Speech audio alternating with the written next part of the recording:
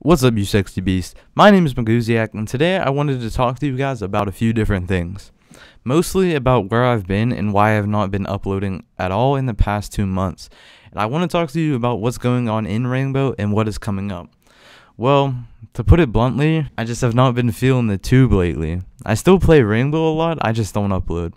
That may change soon. I know I said I was making the return, but that was definitely not true at the time. Well, some good news I could bring with all this is that I uh, got accepted into college, so yeah, that's always fun.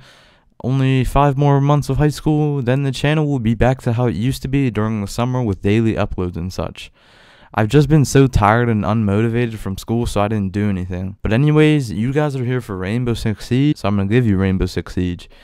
I was maybe thinking about doing a top 10 series on the channel along with everything else that I have already done. Maybe like a top 10 uh, plays, kills, whatever. If you guys would like to see that and maybe be a part of it, please let me know.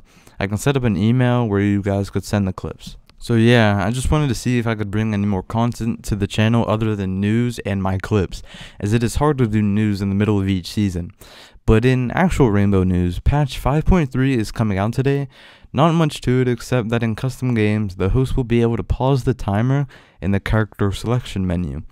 And this is pretty cool as me and my friends like to play custom 4v4 a good amount. But other than that, it is all little bug fixes. If you want to look at it for yourself, I will leave a link to it in the description.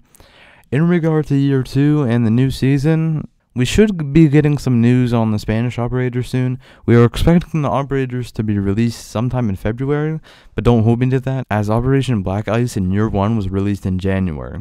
It is January 10th, so we still have a good amount of time. I have yet to actually purchase the year 2 season pass, but don't worry, I will have it so I will be able to provide you guys some insight as soon as they are released, that being the operators.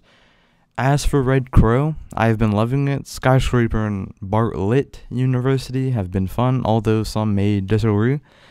But yeah, that's really all I have to say for now. Expect more from me, and if I don't provide, then just come eat my ass, and I'll be motivated again. So yeah, sorry for being lazy, but for now, skate fast and eat ass. I'm out.